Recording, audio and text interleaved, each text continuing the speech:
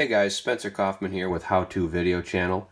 Today I'm going to show you how to preserve your starfish that you have found on the beach or in the ocean or wherever. Uh, preserve them so they don't stink. Because these things, holy moly, do they stink horribly. Smell like rotten or dead decaying fish. So what you need to do is put your starfish in a nice glass or some type of baking bowl. Uh, glass is good because nothing bad will happen to it.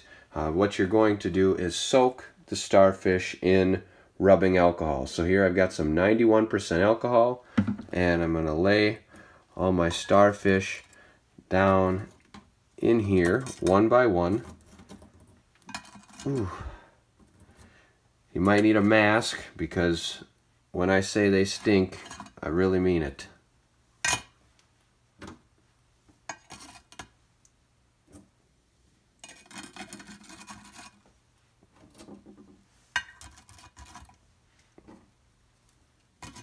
Okay.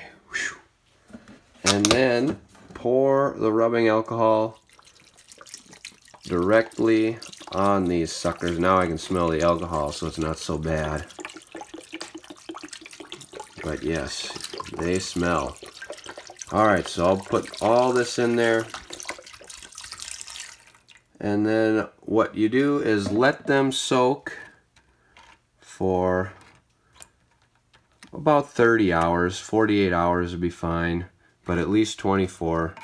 You want to really let them soak long enough that it kills all of the bacteria because it's the bacteria that is smelling so bad in this.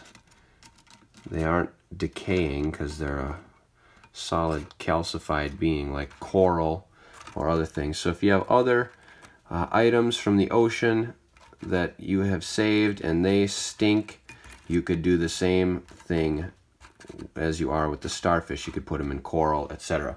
So here we go. How to preserve your starfish and prevent them from stinking so badly. What you do is lay them out in a container, preferably a glass container.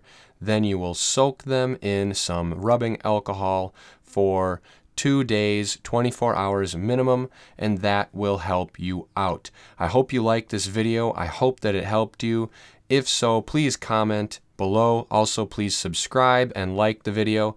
Comment saying you subscribed as well. And as always, click that bell icon to be notified for future videos.